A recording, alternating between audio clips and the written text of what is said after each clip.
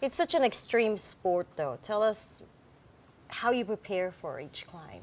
Well, I've been, I've been climbing. I have been climbing my whole life. 50 years I've been climbing. I am even featured in the book of the 100 greatest sport people from all time. Mm-hmm. I am having 10 Guinness World of Records certificates. I am having a statue in China.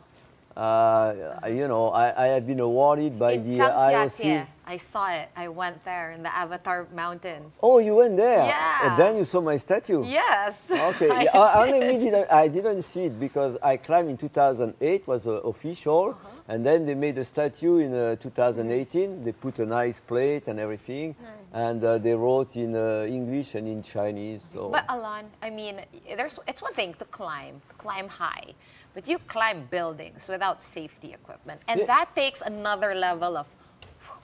No, that, well, that, that's not exactly uh, right Really? uh, because you know.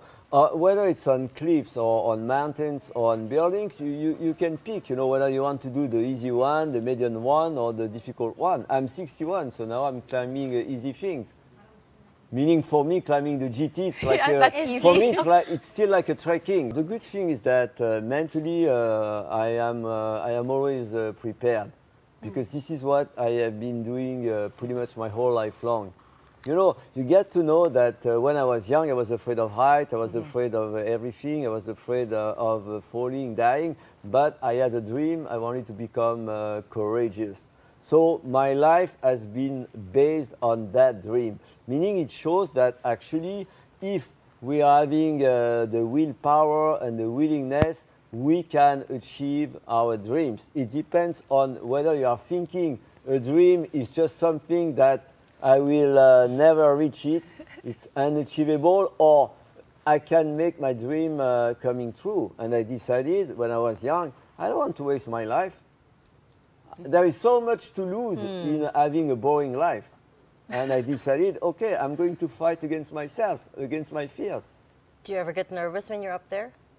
I'm fine, you know, I'm used to it, you know, and, uh, and, it, and it's cool, you know, because, you know, when I was young, I was even thinking that, oh, actually, when you are reaching 60, maybe you are using a stick, you're having a long beard, and you are talking uh, to your grandkids.